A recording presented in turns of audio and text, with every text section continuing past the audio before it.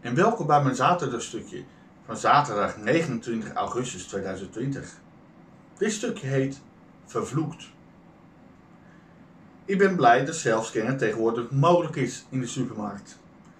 Niet dat ik een hekel heb aan kassenmeisjes, maar ik vond het altijd een benauwend idee dat ze alles wat ik wilde kopen door hun handen lieten gaan. Maar wanneer ik een ladingvlees en houtskool op de band legde, was het natuurlijk logisch dat ik ging barbecuen. Nu wist ik dat al, maar nu wisten zij dat ook. En ergens vond dat er inbreuk op mijn privacy, dat de kassenmeisje het nu ook wist. Dat is een van de redenen dat ik blij ben met de zelfscan. Tot een tijd geleden ontgrendelde ik met mijn bovenskaart een vreemd uitziend apparaatje, zwaaide daarmee rond en leesde dezelfde streepjescodes. Wie had 20 jaar geleden durven dromen dat bij het afrekenen van boodschappen geen kassenmeisje meer nodig zou zijn? In Star Wars Saga worden laserzwaarden gebruikt als wapens in Haarlem Roli. In Nederland gebruiken we laserstralen om zelf producten te scannen. Nu is het nog gemakkelijker door een telefoon te gebruiken. Een telefoon is al lang niet meer alleen om te bellen. Ik kan die voor mij ook gebruiken om een boodschappenlijstje te maken, de producten te scannen en eventueel ook nog af te rekenen. Nu vind ik dat laatste nog een brug te ver. Maar wie weet geef ik ooit zo toe en ga ik mijn telefoon als een bankpas gebruiken. Maar ik ben niet de enige die vooruitstrevend bezig is. Nu direct contact met andere mensen even beanstigend is als u dominee langs de homobar moet, gaan steeds meer mensen zelf scannen. Zoveel zelfs, dat ik laatst in de rij stond voor de zelfscan. De service, die zich juist aanprijst om snel de winkel weer uit te kunnen, liet mij, moi, in de rij staan. Dat deed mij terugdenken aan vroege tijden, want mijn geluk met rijden is altijd niet bestaand geweest. Als ik naar de winkel ging en een korte rijen koos, was het altijd dat ik later buiten stond, de laatste van de langste rij. Het is een vloek.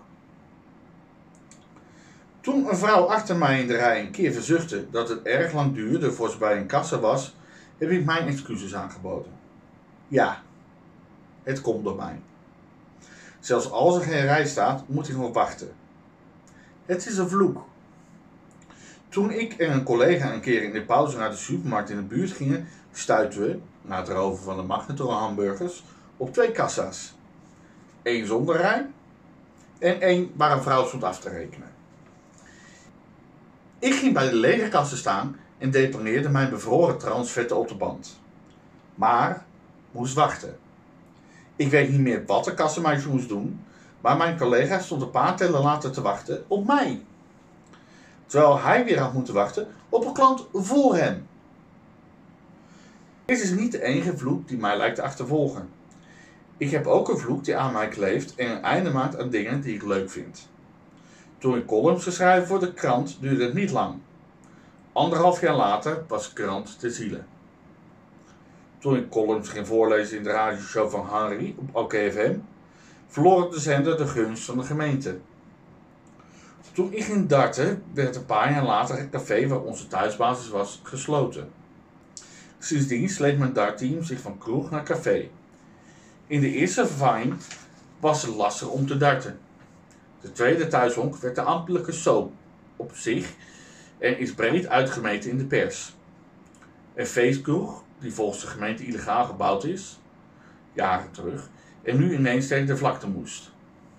Eén las laatst in het nieuws dat onze nieuwe thuishaven wellicht ook ophoudt te bestaan. Deze verdienen een eigen column en horen niet thuis in een zaterdagstukje.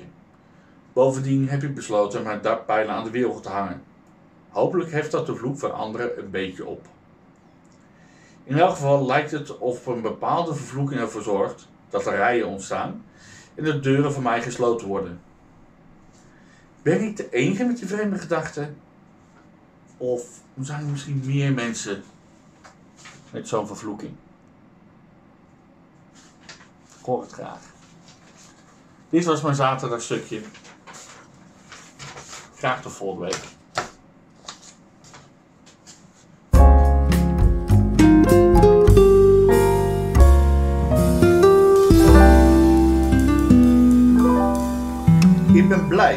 Zelfscannen tegenwoordig mogelijk is.